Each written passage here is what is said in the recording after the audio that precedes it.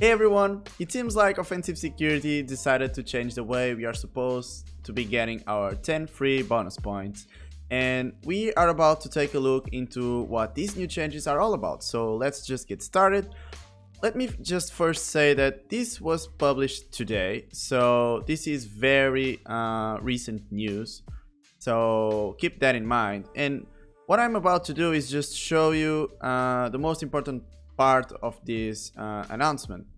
Now you can read this through and take your time, but let me just show you uh, the main takeaways, shall we? So the first thing is that this was the previous way uh, we were supposed uh, to get our 10 free bonus points. So you should write a report of all the legacy exercise solutions and then we were also supposed to write a report of at least 10 Pen 200 lab machines, and 4 of those had to be related to an Active Directory uh, subset since the last changes um, regarding the OSCP. Now, a new way to receive bonus points, and this is very interesting, so let me just zoom this. Now, I think this is cool. Yeah, yeah, this is cool. So starting today, on August 3rd, 2022, the following criteria will be accepted for bonus points. So let's just see. So first, students must have 80% correct solutions submitted for the Pen 200 topic exercises for each topic. So the course um, book or the course materials have a lot of topics and it seems like as long as you have at least 80% of those exercises submitted on the their platform, you should be good. Now there's another thing. So secondly, students must also submit the proof.txt of at least 30 Pen 200 lab machines. So what I get by these changes is that they are really pushing us as students to focus on their course materials. And that lets me to believe or leads me to believe that they are trying to make a statement saying that, okay, our course materials are the best way to get prepared for this particular exam.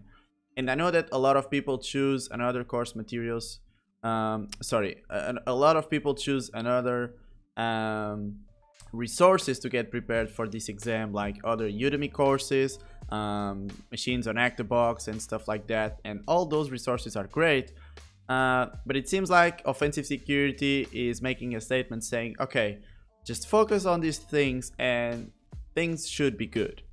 Now, there's no need to submit a lab report and no more restrictions on which machines can and cannot be included. This is great.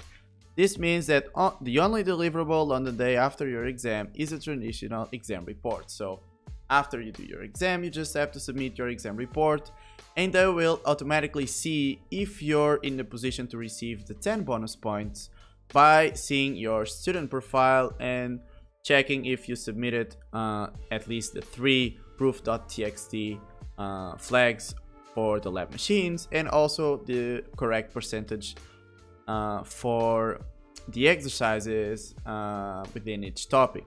Now, the interesting part is um, between August 3rd, 2022, so today, and January 31st on 2023, so six months by now, students will be able to use either method for achieving bonus points. And this is great. So I just published my um, lab report template like two weeks ago, I think. So if you're still uh, trying to use it or if you want to use it, you can do so until January 31st, 2023. Um, so you can choose between the, th the two methods and there shouldn't be a problem there. Now, after January 31st, 2023, Offensive Security will only allocate bonus points as per the new exam requirements. Now, I left this final point to read it with you guys because I'm really interested to see what are their visions regarding the benefits of this new system, of this new way of getting the 10 bonus points. Now for me, I still believe that being able to write a good report is essential uh, in case you want to be a penetration tester, but you already have to do it uh, in your exam report. So I really think this is a good change because as they say here, and I'm reading it right now, First, it's much simpler. We are hoping that this new system will allow students to spend less time on administrative issues and more time hacking away the labs. Yeah, because everything is automatic. I'm kind of seeing this as a TryHackMe approach. So you have questions and you have to provide an answer. So you go, you hack, you do your thing, whatever, and then you provide a proof or a flag or something that says, okay, I've done this. So yeah, let me just put this right here, click on the submit and get like correct answer. So go ahead and go hack and do the other exercises. You're good to go. Um, that's much simpler than having to do like a lab report.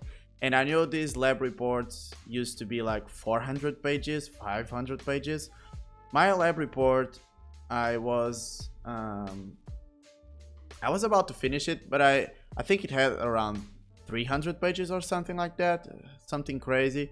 And this will save a lot of time, not only for you, uh, let's say you have 30 days to complete the labs and go through the course exercises. Of course, this will save you time. But remember, there is someone on the other side working for offensive security that has to go through all your lab reports and your exam reports as well. So think about it. Um, if you submit your lab report and that report is 400 pages, and then you also have to submit your exam report, I think that is that should be the reason why sometimes it take a little bit of time to offensive security to give us our exam results. And now that should be a bit faster because they don't really have to go through it anymore.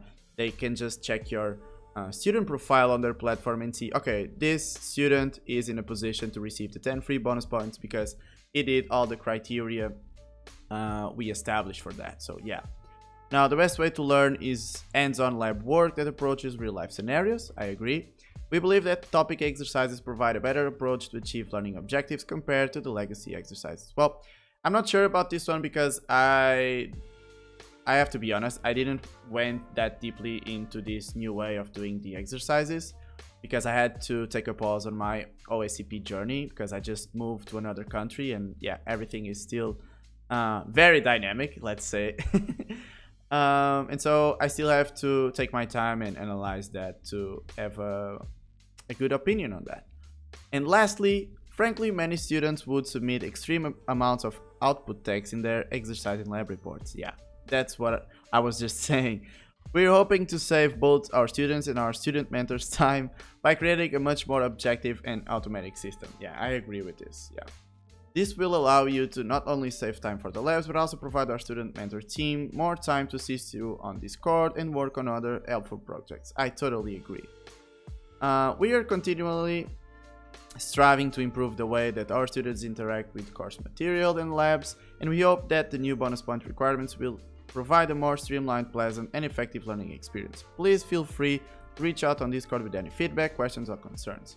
That's amazing. So they are willing to receive feedback from the community. That's that's cool.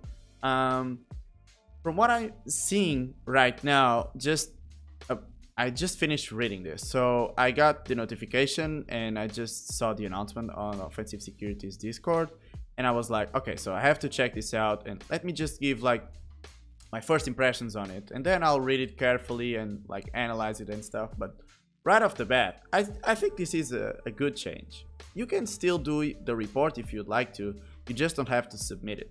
And this new way of doing things is actually going to save you a lot of time and also save a lot of time for the offensive security staff.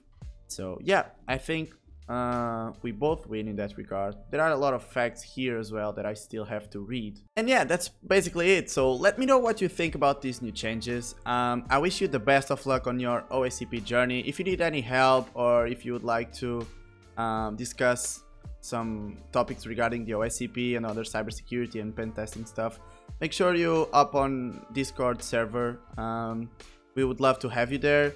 And you can also leave a comment if you want to discuss these things further below. And yeah, I'll see you in the next video. Bye!